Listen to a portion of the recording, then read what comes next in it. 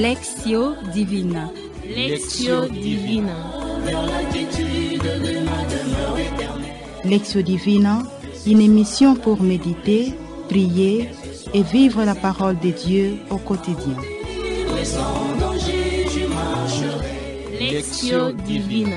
Lectio Divina.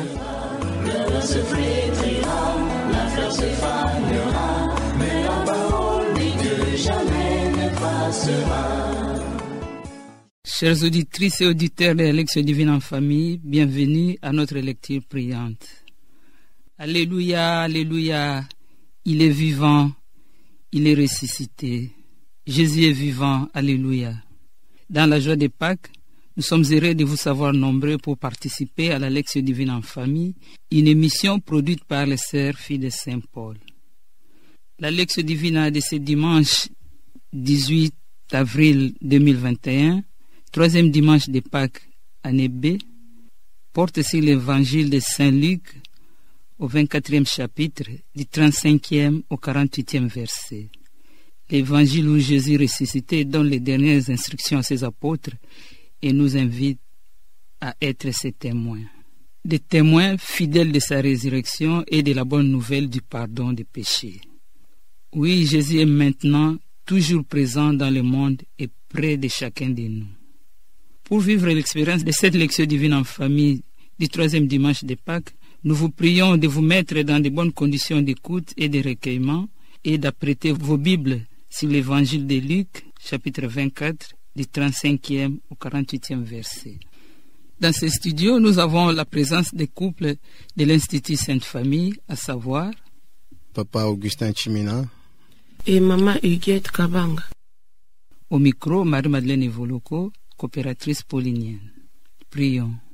Seigneur Jésus, toi qui nous as donné l'exemple parfait de l'amour de Dieu, tu nous invites en ce troisième dimanche de Pâques à lire les Écritures pour mieux connaître la réalité divine et comprendre l'essence de notre vie. Ouvre, Seigneur, notre intelligence des Écritures. Donne-nous ton esprit pour qu'il nous conduise vers la vérité et surtout qu'il nous aide à comprendre que ce n'est que par les actes que nous pouvons devenir des vrais témoins, que nous pouvons t'annoncer et te rendre vivant dans nos vies. Amen.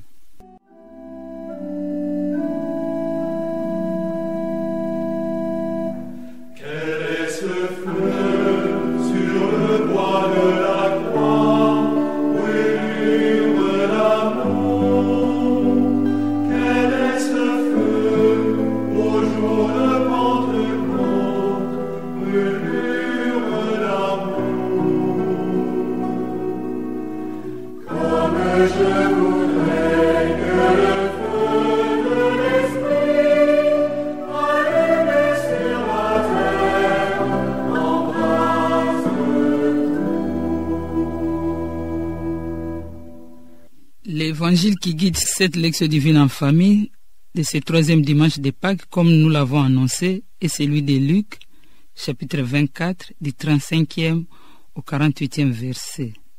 Jésus ressuscité apparaît à ses apôtres, mais ils ont bien du mal à les reconnaître. Il lui faut beaucoup insister pour qu'ils osent croire en cette résurrection.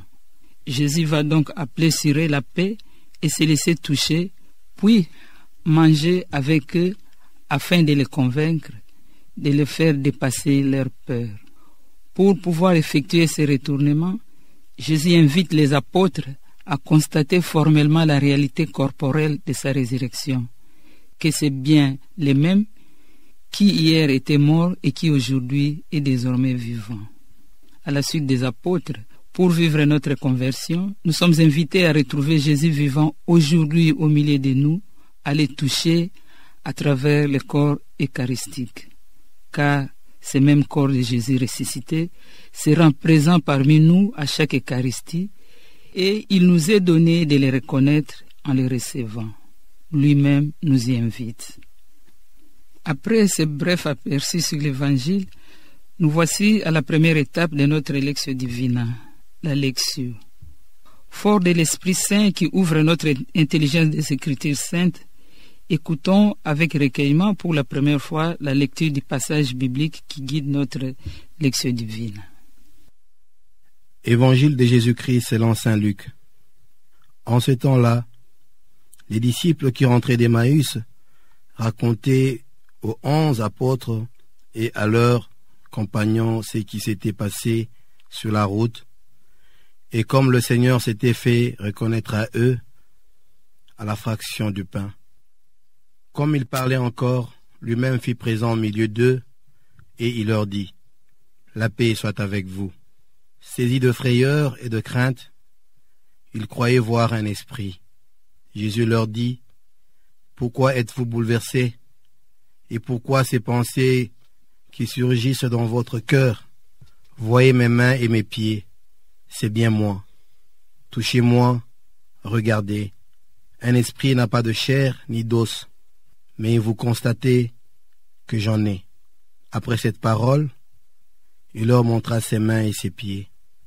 Dans leur joie, ils n'osaient pas encore y croire et restaient saisis d'étonnement. Jésus leur dit, Avez-vous ici quelque chose à manger? Ils lui présentèrent une part de poisson grillé qu'il prit et mangea devant eux. Puis il leur déclara, Voici les paroles que je vous ai dites quand j'étais encore avec vous. Il faut que s'accomplisse tout ce qui a été écrit à mon sujet dans la loi de Moïse, les prophètes et les psaumes. Alors il ouvrit leur intelligence à la compréhension des Écritures.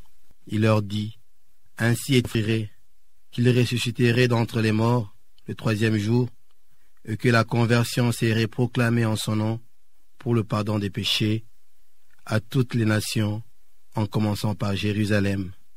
À vous d'en être les témoins. Acclamons la parole de Dieu. Louange à toi, Seigneur Jésus. À présent, gardons pour la première fois un moment de silence avec cette musique en sourdine que nous propose la technique afin de nous laisser toucher par la parole que nous venons d'écouter.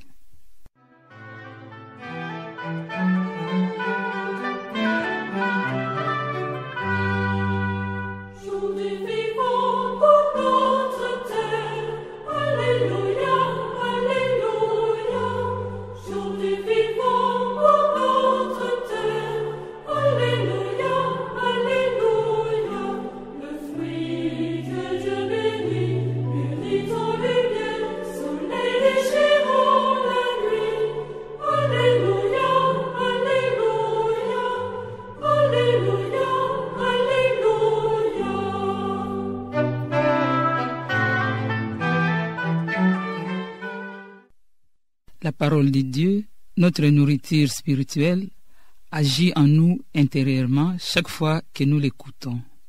De ce fait, certains passages de l'évangile que nous venons d'écouter nous ont certainement marqués.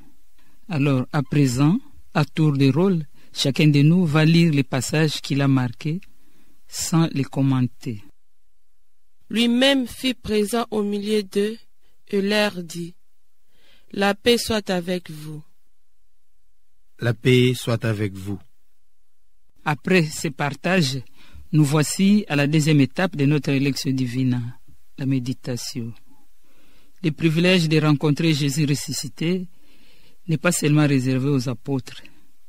Nous venons, nous aussi, de les rencontrer à travers la parole que nous venons d'écouter. À vous d'en être les témoins, nous dit-il.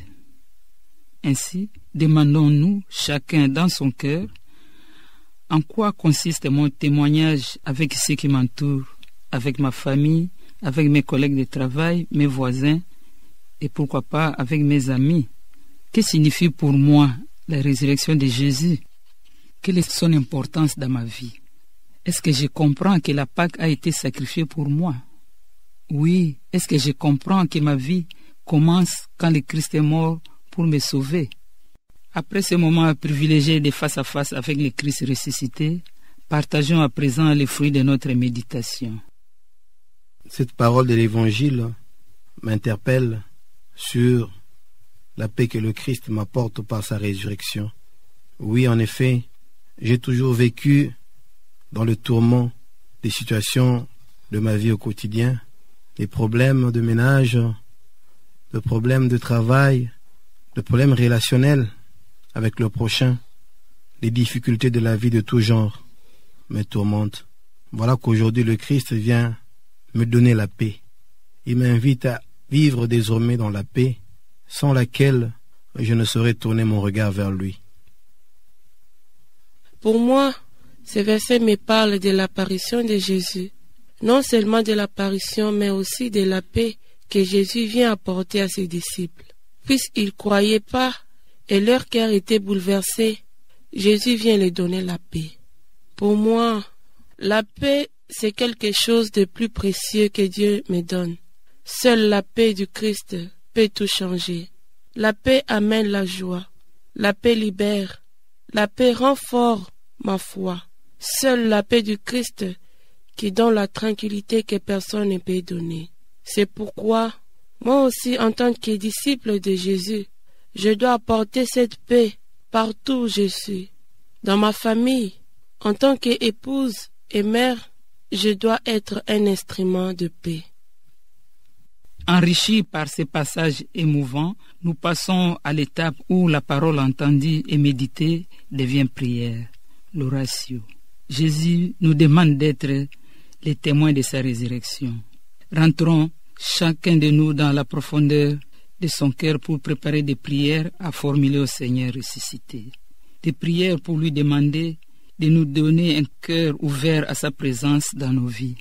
Formulons aussi des prières pour accepter les dons de Jésus, la paix dans nos cœurs. Maintenant, chacun de nous va formuler sa prière au Seigneur.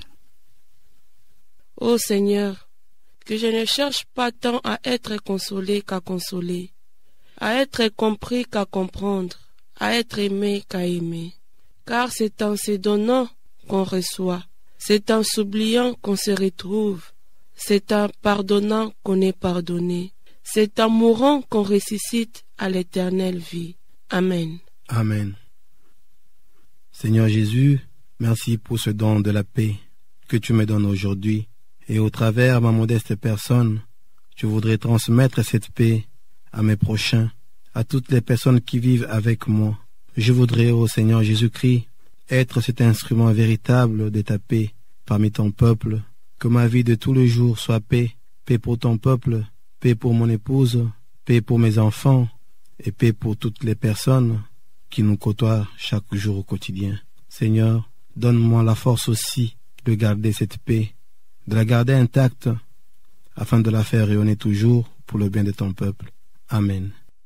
Seigneur Jésus, toi qui expliques les Écritures à tes apôtres, afin qu'ils comprennent l'accomplissement des promesses concernant ta mort et ta résurrection, ouvre notre esprit et notre cœur à l'intelligence des Écritures pour que, affermis dans la même foi que les apôtres, nous puissions devenir dans nos familles et en l'Église des témoins véritables et continuer ainsi la transmission de la foi née les jours de Pâques.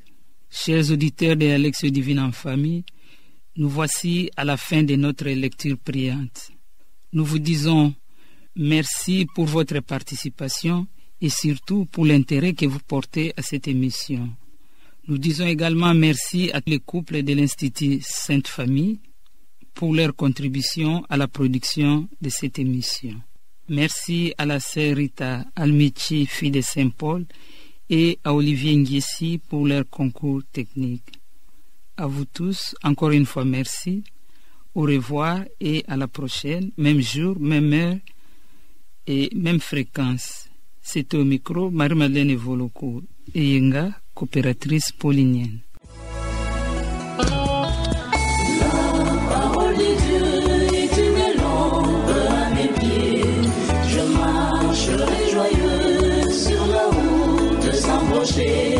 Lectio Divina. Lectio Divina. Lectio Divina, une émission pour méditer, prier et vivre la parole de Dieu au quotidien. Lectio Divina. Lectio Divina. Le se flétrira, la fleur se fanera, sera.